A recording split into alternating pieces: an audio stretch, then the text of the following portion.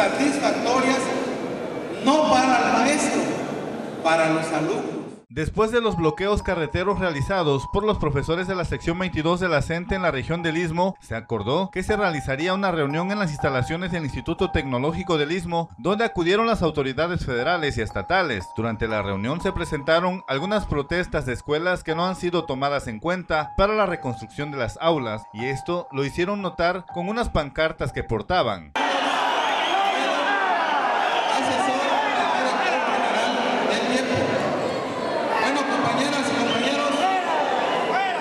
El representante de la Comisión Política de la sección 22, José Carlos López Alonso, indicó que se tomaron acuerdos para que se inicie la reconstrucción de 48 planteles de manera inmediata, quedando pendiente más de 300 escuelas en la región. Nosotros eh, acordamos el día jueves que el día lunes están iniciando las primeras 48 empresas, ¿sí? para las primeras 48 escuelas.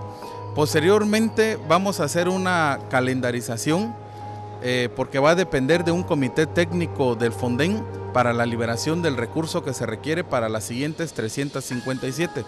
Se les dio un plazo eh, de aquí al 30 de septiembre para que puedan instalar eh, ese comité técnico del Fonden y puedan liberar el recurso. De no ser así, entonces sí estaríamos realizando acciones de manera inmediata. Se estima que son más de 100 escuelas que no se encuentran dentro del registro del padrón de edificios dañados, por lo que se retomarán los levantamientos para que se atiendan todas las escuelas que estén en malas condiciones. Hay un avance en el estado de más del 50% de las escuelas que fueron dañadas, este, con lo que tenemos programado para este ejercicio a su conclusión, que no es al día de hoy, sino a finales de año, principios del próximo año, Quedarían pendientes todavía algunas escuelas, algunas porque no fueron incluidas desde el primer levantamiento de daños y que nos han ido reportando conforme hemos ido trabajando, viendo en territorio lo que falta.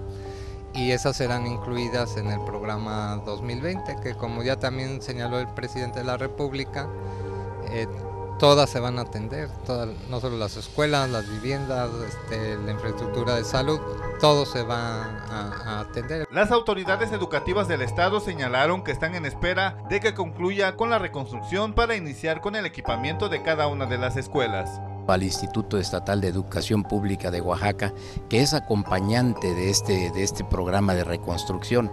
El IEPO no reconstruye, estamos muy atentos en cuanto se dé la terminación de las escuelas, de las escuelas de, la región del Istmo, pues el IEPO le va a entrar para lo del equipamiento.